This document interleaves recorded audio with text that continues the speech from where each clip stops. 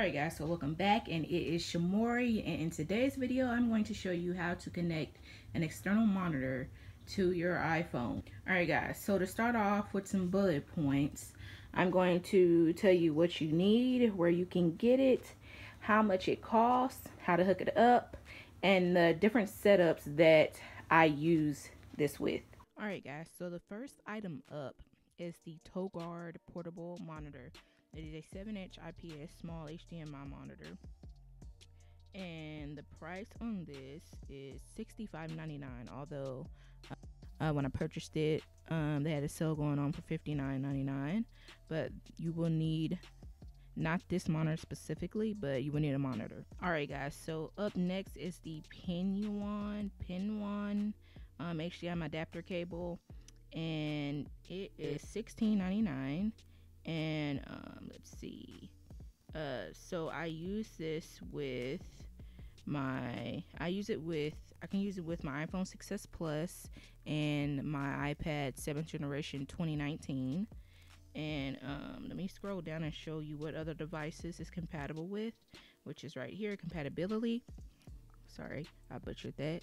Uh, it is compatible with these versions. I'm not going to name them out. I'm just going to pause on the screen for a few seconds to let you look at that. Also compatible with iPod Touches and um, other iPads. So, like I said, this does work with my iPad 7th, 7th generation 2019, the one that came out this year, and my iPhone 6s Plus. Alright, so up next, I also purchased this SmallRig uh, super arm clamp and this is $12.99 and like I said you don't need this specifically but um, I got this so I'll excuse me so I will be able to mount the monitor to whatever um, setup item that I will be using. So not this one specifically but this is the one I chose. Alright guys so basically with the HDMI cable you just take it and hook it into the HDMI port on the monitor and that's pretty much it.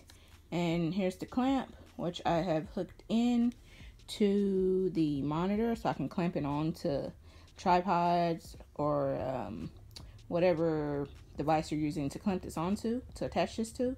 So that's it. And also the monitor does come with a USB cable. So it is USB powered so you can hook it into uh, a wall adapter or um, a power bank and today I will be using a power bank for uh, this setup. So sorry if that is not focusing in. But um yeah um yeah so this is a USB cable. So I will be hooking this onto the other side the other side of it right there. Sorry it's out of focus uh, to power this monitor and I will be hooking this all into a power bank. Now you have to use this exact one, but this power bank has two USB ports, so it will allow me to uh, power the monitor and hook in my uh, iPhone from this HDMI cable. So I will get that hooked up and I'm going to show you the first setup is going to be with a stabilizer that I use. So let's get started.